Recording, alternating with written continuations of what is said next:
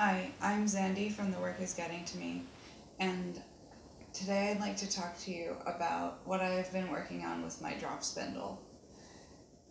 This is the yarn that I've been making, and it's kind of a variegated type of colorway using two different types of fibers. And it's just using joins to make this kind of unique color happen.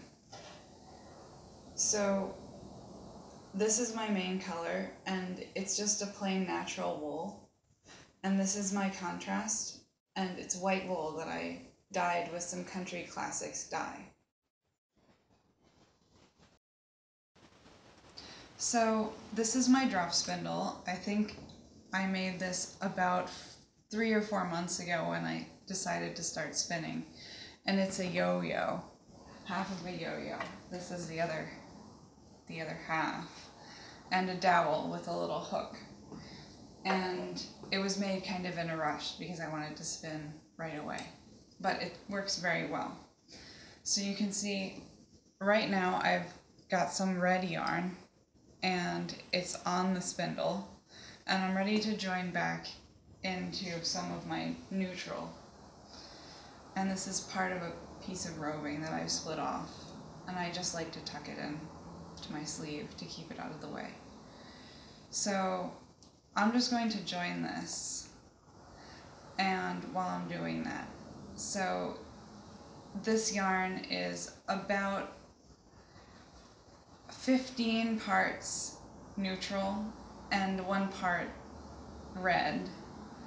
And you'll see that it's entirely made with join. I'm not sure how well you can see this, but maybe against my dark sweater, you can see that down here by the spindle, it's red, and somewhere in the middle, the color changes where I've joined it, and in my hand now, spinning, I have the natural. So I'm going to show you how to do that. You can see that I've spun a little bit of the natural color and I'm also holding the red. I'm not ready to join it yet with this hand, but I don't want to go over to the table. I want to have it ready when whenever I need it. So you just spin out, I'm going to spin out a little bit more of this color. And then I'm just going to break it off. And while my spindle is kind of idling, I'm going to pull out these red fibers. They're a little bit felted, so I'm getting them ready. And I'm holding them together and I'm going to give it another spin while it's going really fast. You can hold them together and they'll just stick like that. And now your red is joined on. And I can spin out, I guess usually um, enough red until I feel like it's time to wind on. And then I'll switch back. And that's how I'm getting those uh, short color bursts in the yarn.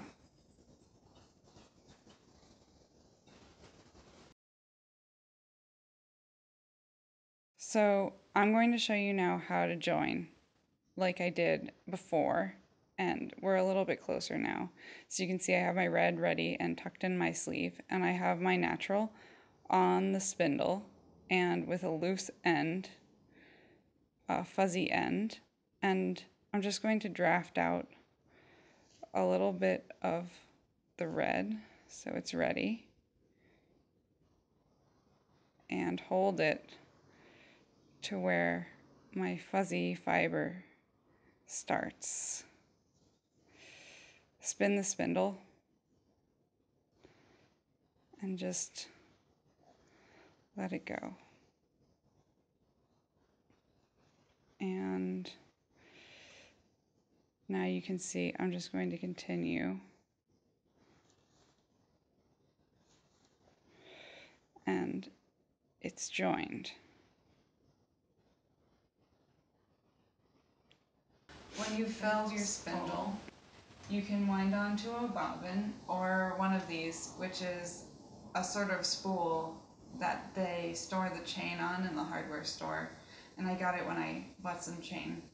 And then from this, you ply your yarn. And I've been using the Navajo plying method to keep the color kind of in pools in the yarn. And in my next video, I will show you how to do that.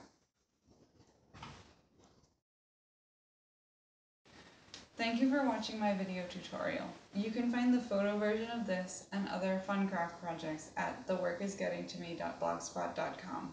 Bye!